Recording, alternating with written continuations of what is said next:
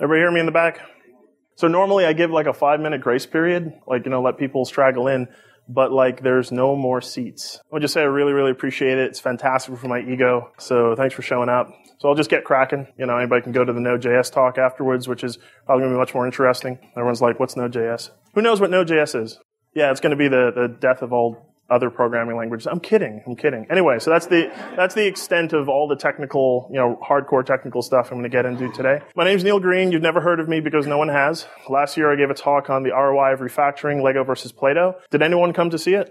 Awesome. Thank you so much for coming back despite having seen it. The talks I like to give the most are ones that are more on theory and philosophy in our uh, industry. I don't favor talks that are about particular technologies because they tend to go out of fashion very, very quickly.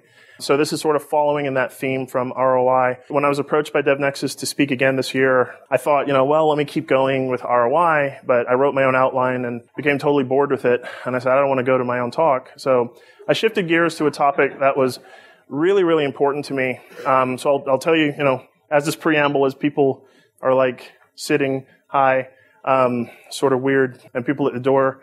Uh, sorry, uh, return on investment, just a, a business term. Yeah, so don't get freaked out by people sitting to your right. Okay, so uh, uh, so some sort of preamble uh, before we get into it. So I, uh, since 2006, I've been in some capacity a technical team lead, taking on managerial and architectural uh, responsibilities and sort of a in, in several different companies. Uh, what's interesting is that the more you get promoted in your career, the harder it is for you to code, just from time constraints. Anybody else here is in a sort of a lead position and you're having trouble coding, just you just can't find the time. And even when you do find the time, it's in fits and bursts, so you really don't get that sort of juicy stretch of uh, coding that you got back when you were just a, a, regular developer. The turning point for me, the engineers I brought on and trained, you know, we were talking, you know, getting the car back from lunch and I totally botched the question on spring injection. Just like, just totally botched it. And there were sort of chuckles at my expense in the car. And I was like, I can't believe I blew that. And he said, you think maybe it's because you don't code every day? And at that point, I said, that's it. So uh, for my next job, I basically spent, see if anybody who interviewed me is in this room, like an hour explaining to them why I did not want to go back to being in a lead role because actually my true passion is coding.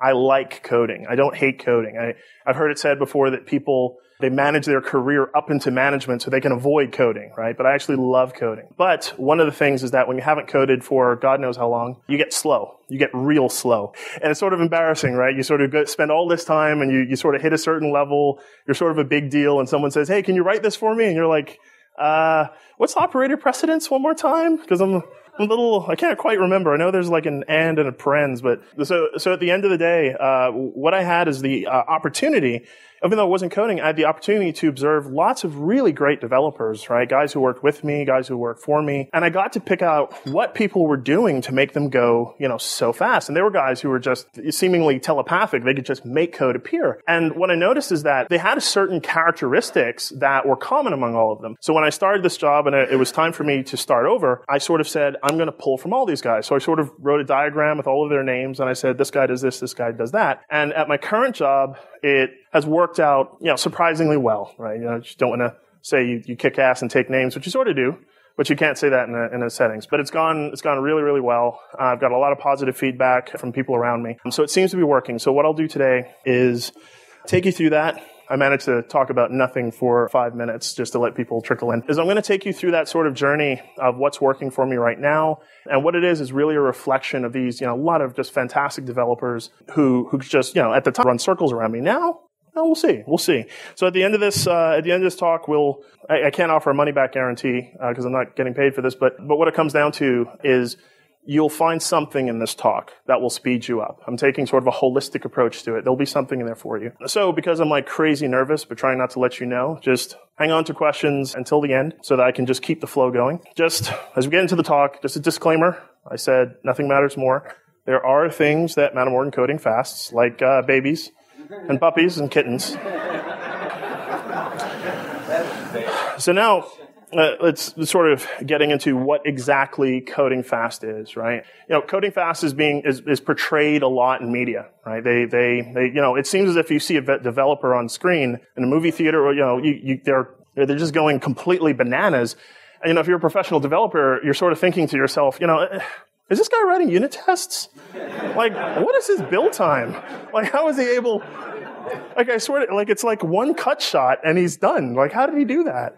Right? So when you get into coding fast, you have to sort of put aside some of your preconceived notions about what that actually means, because in many ways, we've taken coding fast as being a criticism of a developer. Oh, you code fast. Uh, right? It's like, oh, your work is untested. Uh, you know, it doesn't even work half the time, right? But in fact, coding fast is not you sitting there fervently with adrenaline and sort of typing, you know, like crazy. It's just a, what I've observed is it's a collection of various practices that if you stick to them, they just speed you up, right? So this is my working definition of coding fast. I bounced it off a couple of people. I bounced it off my boss, my boss's boss, and they all sort of agreed that this, this is sort of a defensible uh, definition. So let me draw attention to the things that are important. Continuously adding business value, right? We're not talking about a weekend or a week or a month. I mean, year over year, you're constantly adding business value over an indefinite period of time while maintaining high code, high quality code. So high quality code, I talked last year about intrinsic quality versus extrinsic. Bottom line is we're talking about good user experience, easy can, you know, all of the things that come with quality, not just because QA doesn't derive quality, right? Developers create quality at a pace that exceeds expectations. That last one is where coding fast comes in. Now, anybody paying attention or used to gaming systems will say, well, wait a minute. Doesn't that mean that this entire talk is about tricking people into giving you more time than you need? I actually will talk about that later on because the answer is not as uh, simple as it sounds. So now, typical mentalities that just about everybody has, including myself before I started to really think about it. Fast, good, cheap, right?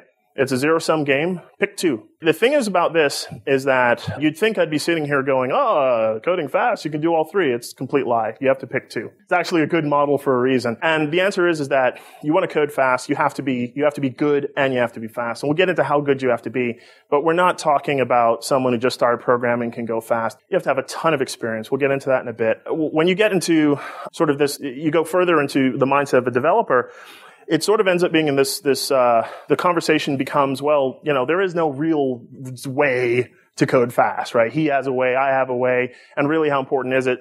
So you end up with this sort of uh, developers throwing up their hands and saying look i'm going to code as fast as i feel like coding or or whatever expectation. So there's no real sense of accountability. And this is really captured i mean of, of all the of the most crystal sort of summaries of this idea uh, is in this exact scene from office space. Anybody? Hmm because this might just derail the talk. Who has not seen the movie Office Space? This is good. This is perfect.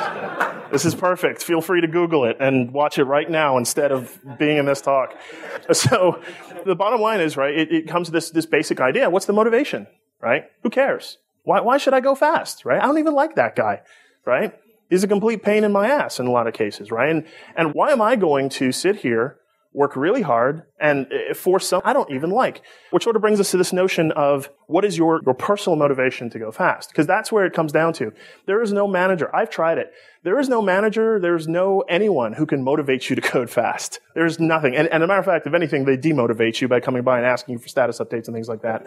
So it has to come from, it has to come from internal, right? So if you're going to make this commitment, I'm going to code fast, then you have to say that I'm going to find my own personal motivation. So one of them, I, I found several different categories when I sort of looked at guys. One of them is this sort of deepening your philosophical knowledge of the craft, right? I'm a technologist. I really enjoy this. You know, I, I in my free time, I read books on, on technology, right? You just, you want to get deeper in it.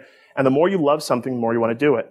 Another one is just people who just want to get recognition. They want to get paid, right? We're in a capitalistic society. You're like, you know what? If I code faster than that guy, I'm going to get the promotion and he's not, right? So that is a motivator. Then there's this notion of I actually want to build a great product.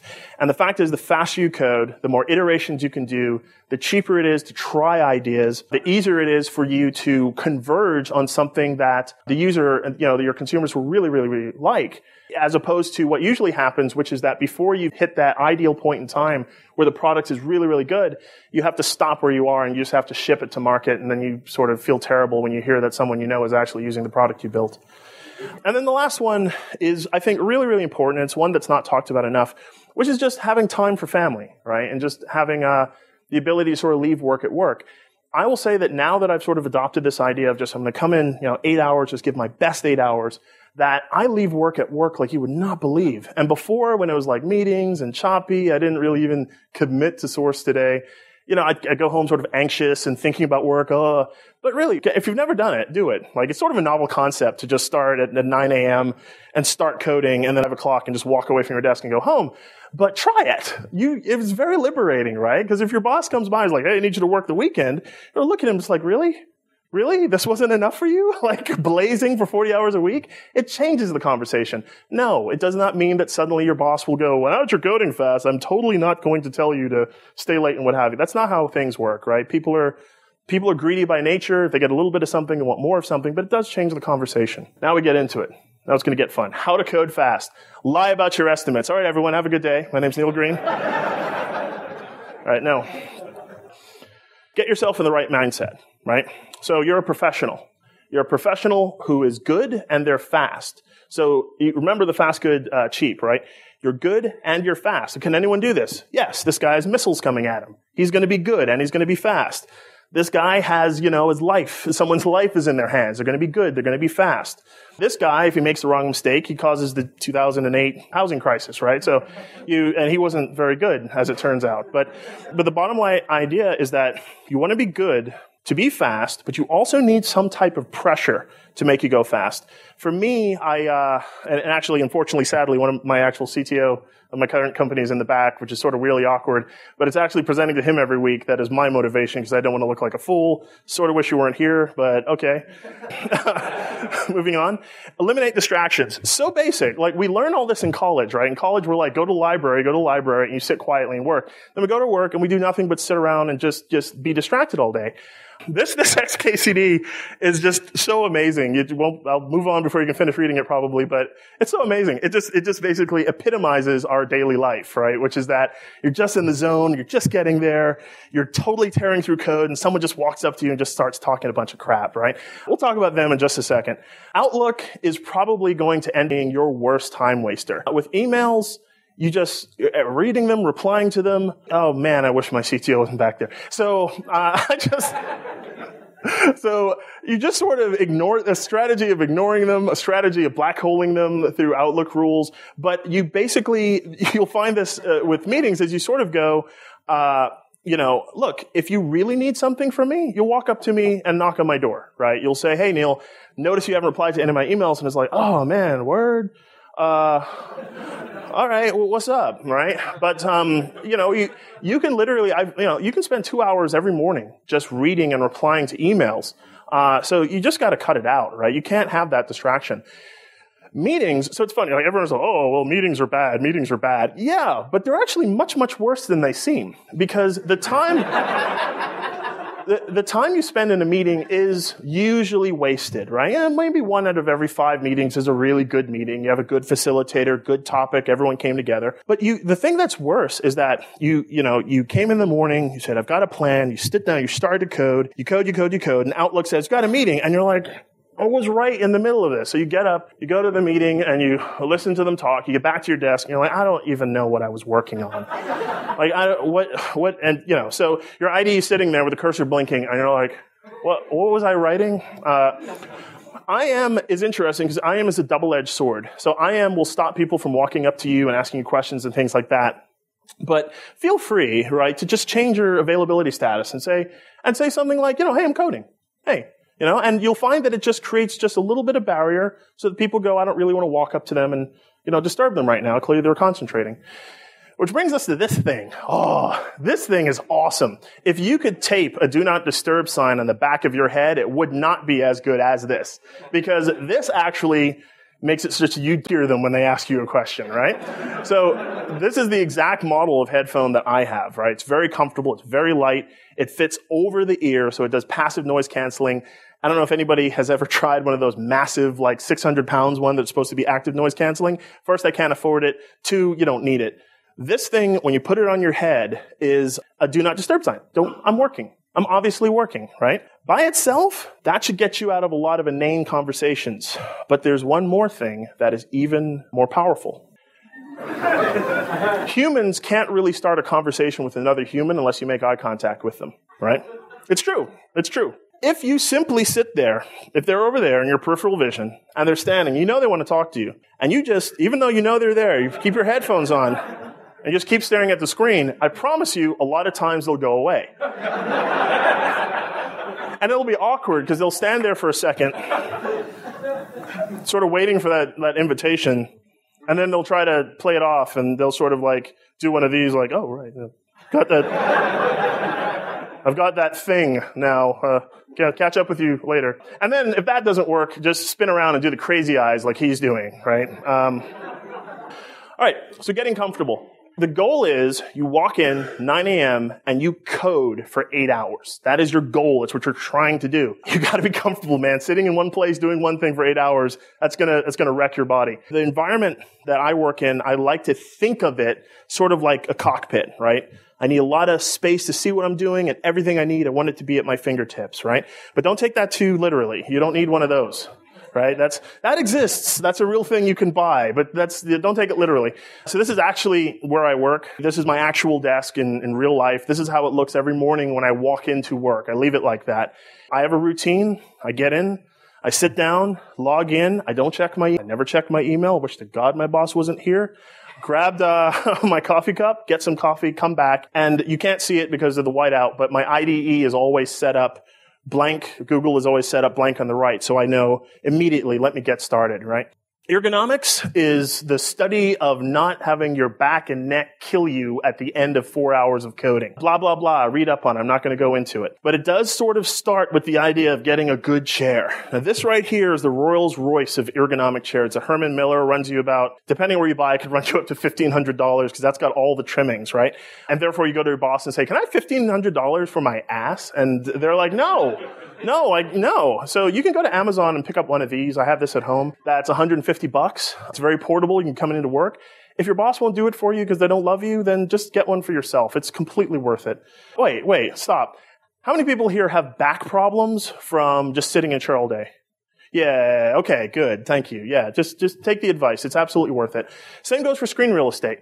Yeah, absolutely. Uh, again, go to your boss and say, man, can you drop a grand on me so I can get one Thunderbolt display? It's not going to happen. So for coding uh, just a reasonable Dell high resolution, get two of them. That's more than enough. That's all you need. But you, the more real estate, the better. I see guys who have three or four. I don't know. I can't turn my head that far to like keep on track of, but, but two of them covers my full peripheral vision. I do a lot of web work my browser in the right, my IDE in the left, and that works out great for me. Temperature and humidity. You would not believe how this affects your productivity.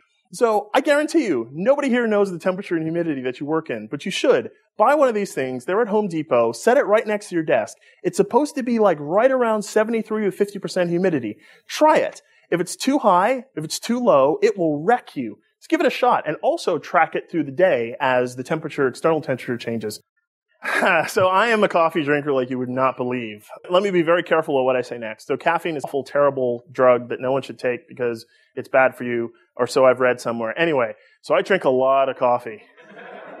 like I drink black coffee, it's got no calories in it. French press if I can, or something like that. So there's a fantastic, you have not seen this thing. I won't be offended if you pull it up on your laptop now.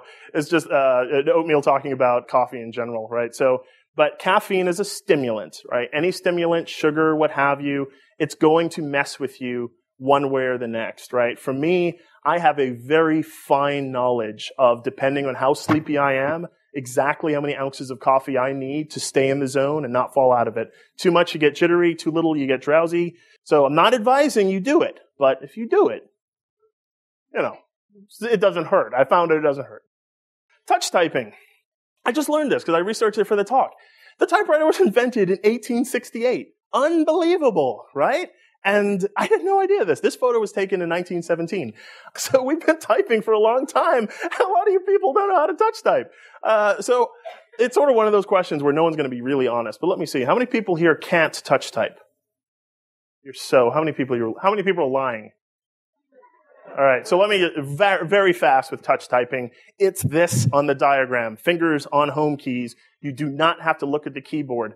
The key to touch typing is you should be able to produce error-free around 60 words per minute, right?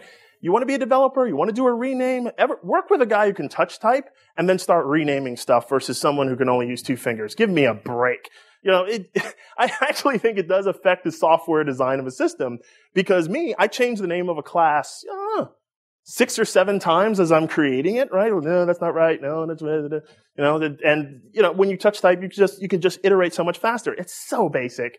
It's so easy. In the morning, pull up one of those touch typing things on the internet that'll just let you type the quick brown fox or whatever and see how many your words per minute. Warm up, get limber, right? This is a this will help. Sub-second builds. This topic frustrates me like you would not believe. So, I, it, you know, frustrating topics, I'm, I'm going to try to skip over and not spend so much time on it.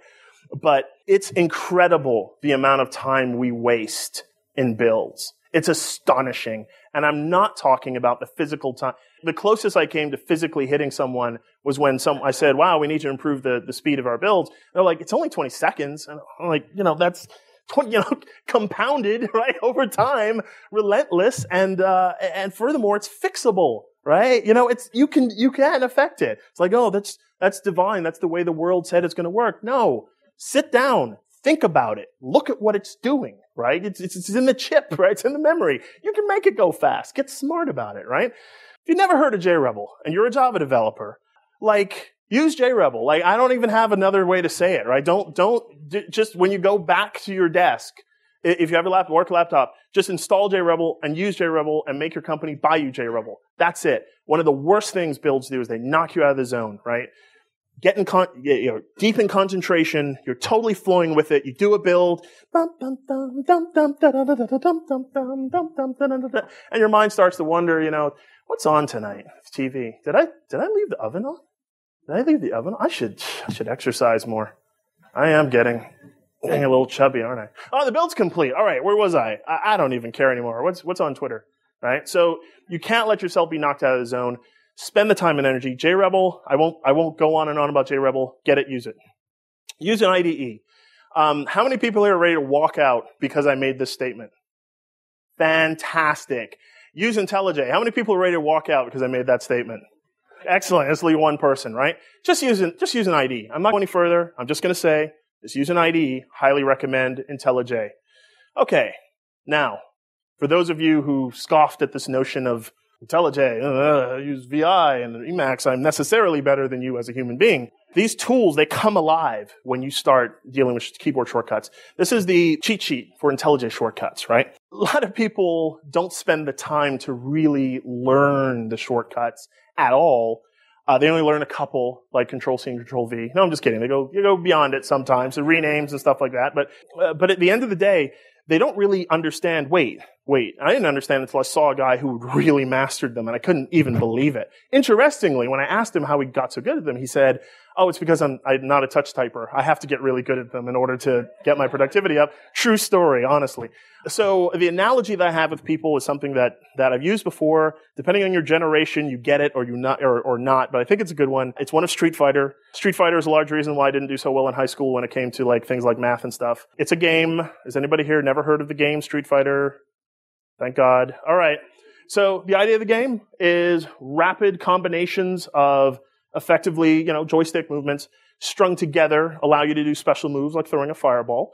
Every character has certain moves you have to learn. They're very difficult to learn. But the key here, which is what you should be in your, your IDE, is that they're muscle, they're, they're muscle memory, right? Just like you're in Street Fighter. You're not thinking about it. You're not thinking, okay, so I want to extract a method. Extract a method. So Alt, Alt, Alt Shift. Wait, am I in Eclipse or on IntelliJ? Alt Shift, because that doesn't work, right? You want to be able to say, you know, ah, oh, you know, I, I just want this to happen, right? And just it be ready, right? So, so Street Fighter rewards you when you do this really well by uh, a big, you know, cinematic. But you know, in, in this particular case, that because I clearly have too much free time, that is actually doing something. But I'll leave it up to the observers later what that's actually doing. But that takes seconds to execute, and it was doing something actually really interesting, really important. Be extremely knowledgeable. Sort of like what, what do you, you mean I have to be knowledgeable? No. Be extremely knowledgeable, right? That's the good part of the fast and the good and not cheap. You can't wait for yourself to just sort of, I gotta go off, I gotta Google something, I gotta read a book, oh, I think I remember hearing about that. Yeah, we do it. We go to Stack Overflow all day and all night. We go and we Google stuff and what have you. But the fact is, is that the less you have to do that, the faster you're going. But it's actually more than just learning about APIs. It's about learning theory and philosophy, right? I don't think as an industry we spend nearly enough time talking about theory and philosophy, right? Theory is the type of stuff you get when you read these types of books, right? The Martin Fowlers, the Kent Becks, the Bob Martins of the world. And if you don't know who those people are, but uh, at the end of the day, philosophy is, is sort of what you get when you work, when you talk to your fellow engineers, right? How do you approach this problem? What you're trying to build up is what, what I call your, your suite of rules of thumb. When you're going fast, you have to have sort of rules of thumb. So the types of rules of thumb I have is the following. I don't want a method that's over three lines. I don't want a class that's over 100 lines. I like my classes to, you know, hover somewhere around 30 to 50 lines. It's just rules of thumb, right? I never want to have a method take more than one argument, right? Things like that. Just, just rules of thumb. And, and as you're coding, the rules of thumb just help you because you're not making conscious decisions. You're like, okay, I need this, this is going to be the name. Okay, it's that. That's cool. That makes sense. We'll get into the consequence of that a little bit later. The thing to remember is that it's really difficult in this industry to get extremely knowledgeable. It takes a lot of work. I'm not going to kid you. I've spent God knows how many hundreds and hundreds and hundreds of dollars at Barnes and Noble. A lot of my free time is spent reading and studying and things like that, and even more of it is spent practicing. So it does come at an expense. But if you want to code fast, you're going to have to put in the time. You're going to have to put in the energy. Okay. This is the part when I practiced the talk, I was like, yeah, everyone in the audience is going to roll their eyes. It's like, oh, in Greenfield? No kidding. Crappy code is you, you can't go fast in it, right? So there's no there's no like there's no like special like oh well how he's going to tell us how. No, actually you can't. You can't move fast in crappy code. There's just too many things that are going to get into your way every second of every day. You will go fast for 15 seconds and you'll hit something you've never you'll hit a 30 line method with four nested if loops and 15 conditionals somehow that they fit in by using the ternary operator. And then you're you're going to go you're just going to your whole thought process is going to break down and you're just going to go okay what were they thinking when they put this together? It's a lot like wading through peanut butter, where every step you take, you're being held back, right? You can't, you cannot move forward. It's very frustrating. And as you lose your motivation from that crappy code, it weighs on you and you sort of start to give up. So Greenfield, obviously, you by yourself in Greenfield like you would in a startup or at home, yeah, not going to be a problem.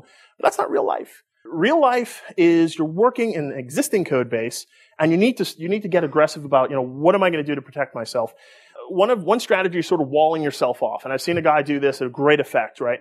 Basically liberal use of adapter patterns and facade patterns, right? Just sort of like, Okay, well, I'm going to put a facade in front of you, an adapter in front of you, and I'm going to make an API between you and me, and I'm going to control my little area over here. Another one is even more extreme, which is just yeah, I'm going to make a separate code base and you're going to use it as a jar, a dependency, or a service. Like, I'm just done. I'm not going to do that. I've been known to do this, right? Is that I don't want to, it's sort of like one of those like dating sort of things where it's like, hey, how's it going? I sort of don't want to work with your code because you sort of suck, but here's an API, right? And it's, it's, sort of, you don't have to sort of take the conversation too much further, right? Um, but you can't do either of those. Um, you're gonna have to, you're just gonna have to clean it up. If you want to code fast, you're going to have to clean it up. Not write it over, not go to your manager, not say, give me, you know, $15 million and I'll go rewrite it for you. Just clean it up piece by piece. Great section in Clean Code by Bob Martin where he talks about this in philosophy. If you actually Google big rewrite in the sky or something like that, you'll come to his sort of small blog post on this. You got to clean it up piece by piece, right? Day by day, add a unit test, test drive it, retire a class, and just keep disciplined on it. But until you get that, you, you can't expect yourself to code fast. So go easy on yourself. Oh. So like I said before, rules of thumb, you're going as fast as you can. You are going to pick up tech debt, right? Everyone here knows what tech debt is. Good. You're going to pick it up very quickly then. Technical debt, basically when you fail to refactor something because you claim you don't have enough time, which you probably do. That's why tech debt is important, right?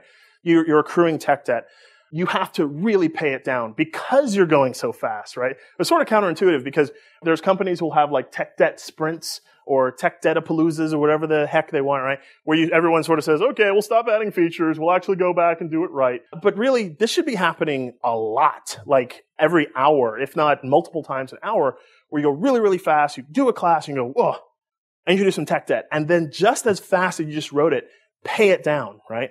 And in terms of technical debt, how to pay it down, there's books written on the topic. There's, you know, but, but you have to be able to spot tech debt before you can pay it down. A lot of people miss that. So the technique I use, and it seems to be working well, is I mark my tech debt with a refactor uh, comment instead of capital to do, capital refactor colon. And then I say specifically what I want another developer or myself to do. And then my rule of thumb is I basically keep a track of how many of these refactor comments that I have. And when I get like around 10ish, then I just pull the ripcord and I start paying it down as aggressively as I can this idea of flipping from going really, really fast to aggressively paying it down, analogous to sort of taking pit stops, right? And if you don't take a pit stop and just sort of take a, take a fast break, get new tires on, get fueled up, it's just going to catch up with you and you're just going to crash, right? And you can't afford for that to happen. Find creative solutions. So are we engineers? Are we scientists? Are we artists? We have to think creatively, right? Who cares? You have to, you have to not just because a product manager came by and gave you some requirement that makes no sense doesn't mean that you should shut down and stop thinking about what the potential solutions can be, right? You, you, you, you know, yeah, okay, you're the, the PM, everyone has taken complete control out of you and you're some poor innocent lamb on the side of the road who needs protection. No, not really. You're a grown adult. You're smart. You, they were hired you because you're smart. They tell you something, come back to them and say, got a, I've, I've got an alternative idea. Or you do what I do, build an alternative idea, show it to them and see if they notice, right? A lot of times they do, a lot of times they don't, right? When I talk about being creative, there's so many ways to skin a cat, right? There's tons of ways to do it. And some of them won't be immediately obvious until you actually take a step back and go, I need to find a way to get this done quickly, right? Uh, now, don't, I'm not going to say it's not fraught with difficulty, right? Is that you're going to still run into things that, that get in your way. But the point is, is that you have to get in the mindset of, hey, I've got something crazy that I want you to build for some reason. And you have to say, okay, fine, let's see how we can get this done.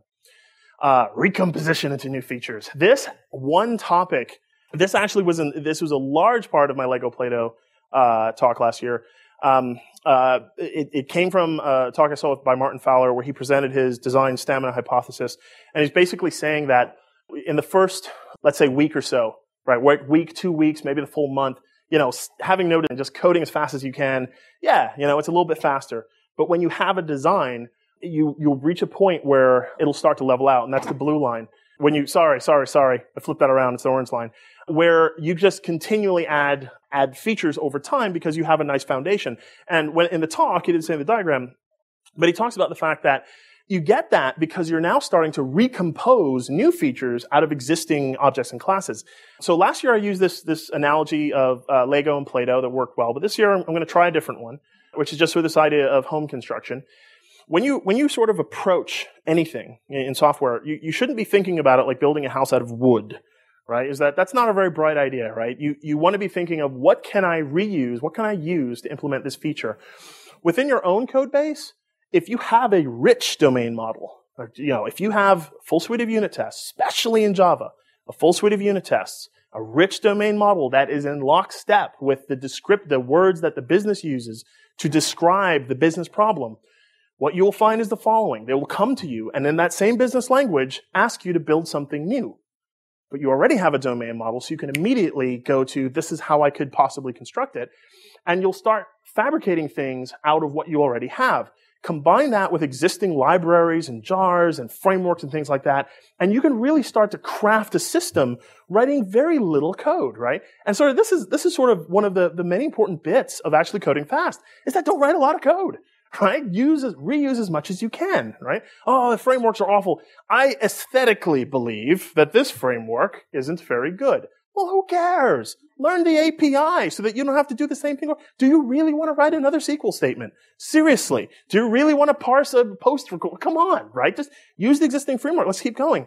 And people say, well, I'm so creative and unique that my business has something completely novel and you couldn't possibly use anything. Well, guess what? Create beautiful, elegant, original things using prefabricated components. This thing here, trust me, nobody got out a hammer and a chisel and made this thing, right? This is mostly Home Depot and hard work, right? Work from visual requirements. Fortunately, the world seems to have agreed that we shouldn't work from large requirements documents. We've gotten smaller, but we, we still haven't quite made the leap to the fact that the human mind is really good at absorbing a lot of information from something that it sees, right?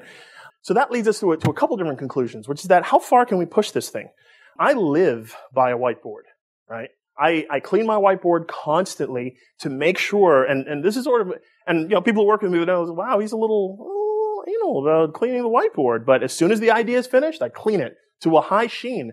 And what I want is that when someone walks into my cube or walks into a room that I'm in, they immediately feel like it just sucks ideas out of them. They're like, well, the whiteboard's clean. Let me just start drawing on it.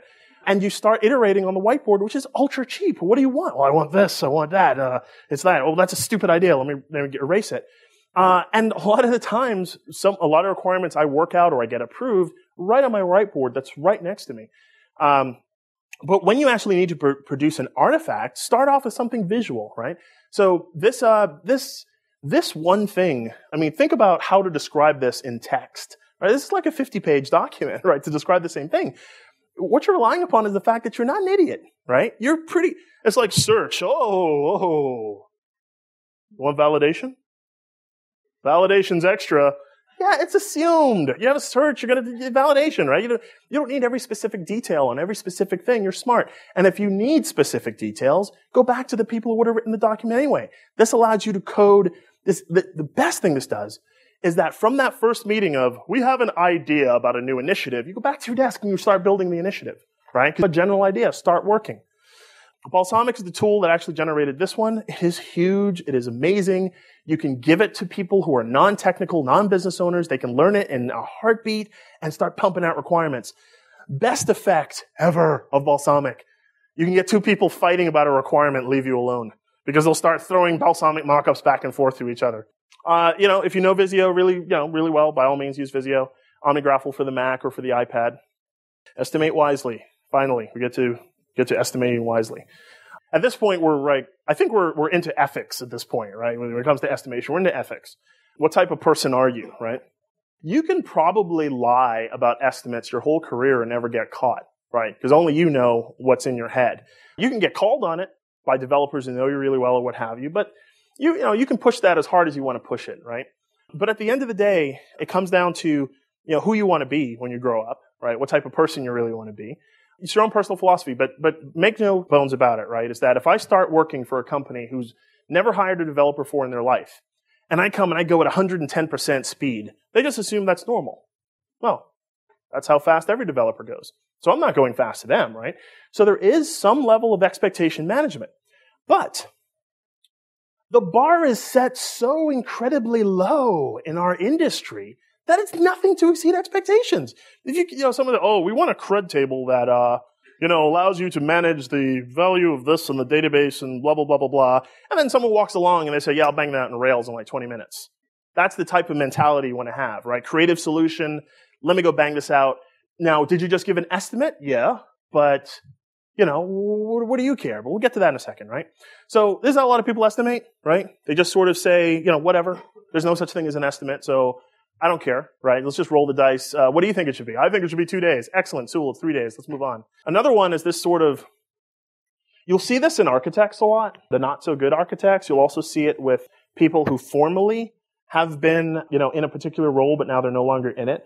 Is this sort of perverted arrogance when it comes to, I know how long this takes, my son, because I have done this thing before. It's also not the way to do it. You, you want to th- think of yourself sort of as a, as a sort of a seasoned, you know, sea captain who's sort of seen it all, right? And, and they go, hey, I'm going to build this. And you go, well, I was just in that code yesterday. I think, you know, I, I know what I have to do to do this. So rather than spend time talking about it, I can go back to my desk and build it, right? That is, that is important with coding fast. You do estimates. You have to do estimates, but they're coming from a different place. They're coming from your tactical understanding of the code base, not for some theoretical understanding, just giving up or waving your hands. Pairing. I thought so long and hard. It's like, okay, quick pause. Let's talk like how am I to do this section? Can I can I give a talk without talking about pair programming? It's like, God, how do I say that? You know, which side do I come on? I got friends on both sides of the fence. Okay, this is what I came up with. So pairing is like marriage, right? When it works, it's amazing. It's beautiful. But when it doesn't work, it's horrific and terrible and turns people off from it for the rest of their life. Pair programming, I've seen it fail maybe in 90% of the cases and, and 10% of the cases. And in my mind's eye, I've always felt this is sort of like marriage, right? Is that you don't really know what's making it work. And, and because people approach it in this sort of like completely naive way, like, I, person I never met before and may have a personal vendetta against me, we're going to work together and just totally it's going to work out. It usually doesn't. And, and people are like, well, pair programming as a concept is flawed. No, it's not. It's just that, just like a relationship, they're just not, ever, you know, I, I can't have the same relationship with one person I can have with another. There has to be a certain level of connection, right? And oh, oh, oh, that sounds really personal. We don't like to do that in corporate America. Well, that's fine. and you'll never pair programming within your organization. Personalities clash. Take a Myers-Briggs, right? Myers-Briggs. Take a Myers-Briggs test. No, it doesn't define who you are or define your career, but it does give you an idea of how compatible you may or may not be with someone else, right? Your value systems could be completely at odds. With pairing, you want to end up sort of like an old married couple, right? You don't always agree, but you sort of complete each other's sentences and you know, you sort of know where each other is going, right? Is that you don't, you don't need a lot of talk, you don't need a lot of conversation. If anybody's ever seen an effective pair, two people sitting at the same computer working, they're a lot like that. There's, there's cursing, there's disagreements, there's like, we shouldn't do it that way. But you move past the disagreements really, really quickly. You know when to compromise. You know when not to compromise. All of the fights, the big fights have already happened. So they're just going and going and going. Now, there's another version of pairing that you see a lot that seems productive, but it's not. It's actually sort of the antithesis of coding fast, and I call it master apprentice. You'll end up with, hey, you two pair up. Yeah, we're pairing, but only one guy is really typing and the, and he's basically teaching the other guy. This is probably good for the organization and for the world and like all the things that make us warm and happy and have a sense of well-being as people, but it's not really coding fast, right? It's a teaching session. So when I do that, I, I sort of, in my mind's eye, you know, I'm pairing with this guy. He maybe, he hasn't, uh, you know, he, he's more junior than I am. So I'm not trying to code fast. I'm trying to give him a very good instructional session. So I sort of shift my gears completely. But if anybody's ever seen one of these, it's, you know, they get that feeling of, eh, this doesn't seem very fast, and that's why, right? Adaptation. The Japanese, you know, they have a word, or at least in martial arts, they have a word called bunkai. And the idea is that, you know, in, in sort of the classroom, you might be teaching, you know, a punch and a kick, you know, in, in martial arts.